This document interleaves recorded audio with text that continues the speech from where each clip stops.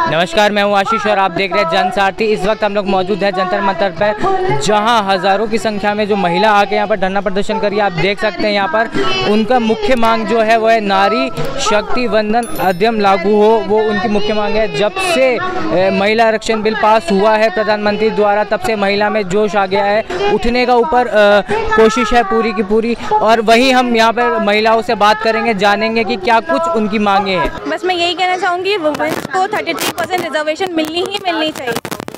क्योंकि हमें हमारा अधिकार चाहिए, हम बीच में नहीं मांग रहे कि हमारा राइट है जो हमें कभी नहीं मिलता। है औरतों को हमेशा मर्दों से कम ही रखा गया है। ऐसा क्यों व्यवहार करते हैं?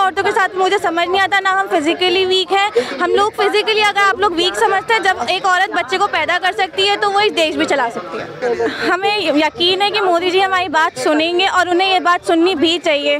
हम लोग इतने कोशिश कर रहे हैं प्रोटेस्ट कर रहे हैं, सब कुछ हमारी आवाज़ उन तक पहुँचनी चाहिए मीडिया के थ्रू हम लोग प्रोटेस्ट कर रहे हैं, सब कुछ कर रहे हैं, लोगों को हमारी बात सुननी चाहिए और हम हमारा अधिकार लेकर रहेंगे, चाहे कुछ भी हो जाए। रेप की तो छोड़िए, आजकल बस में मोलिस्टेशन इतना हो गया है, इतना ज़्यादा हो कि बस में जाते हुए हमें पहले बात सोचना पड़ता है कि हम जाएँगे तो हमें ये सब चीज़ें सेफ़ फेस करनी पड़ेंगी। हम लोग अब मेंटली प्रिपेयर होकर जाने लग गए हैं अब बसेस वगैरह में। क्या हमें टच वगैरह करेंगे ही करेंगे आज? काश्मीर से वो लोग शुरू कर सकते हैं तो उनको शुरू करना चाहिए। और यहाँ भी जितनी महिलाएँ दिख रही है, जो ग्राउंड वर्क पे काम कर रही है, ऐसी महिलाओं को अभी 2024 के उसमें भी आगे लाना चाहिए। जी, हमें तो नहीं लग रहा है कि हमेशा वादे करती है।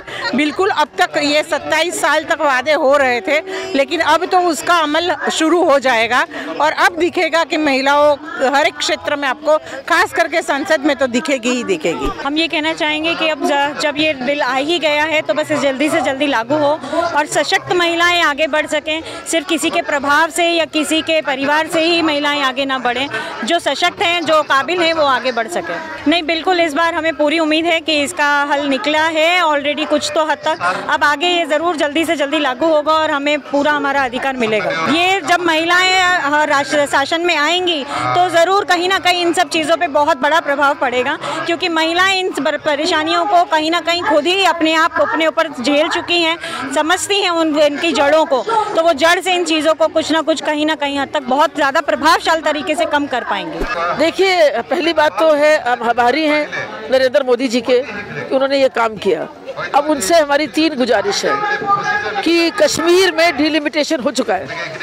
तो वहाँ दे दें immediately 2024 Kashmir should be the first state to implement this bill दूसरी चीज़ प्रशिक्षण, कि औरतों को तैयारी करें।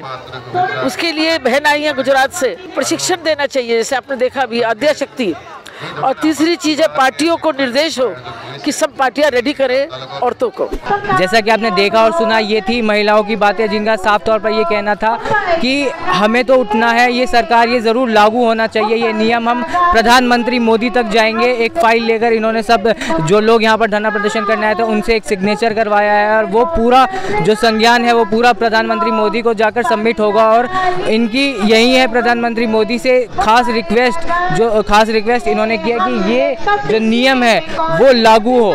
ऐसी अन्य खबरों के लिए आप देखते रहिए जनसार दिल्ली से आशीष की रिपोर्ट।